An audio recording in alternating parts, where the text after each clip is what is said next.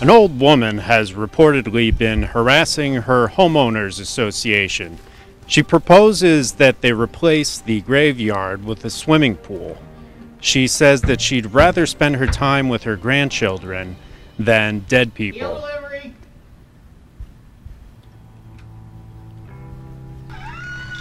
Eel delivery, ma'am.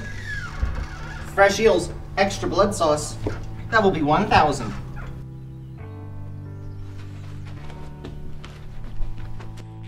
Money! Give me the money!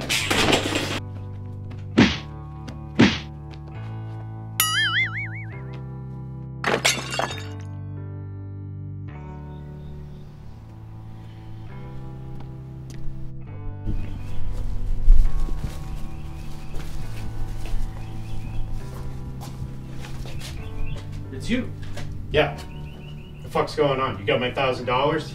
Uh, uh, uh, the, the old lady. I sold her the eels. This is $1,000 worth of eels. The old lady won't pay. Fuck that, you're getting your money.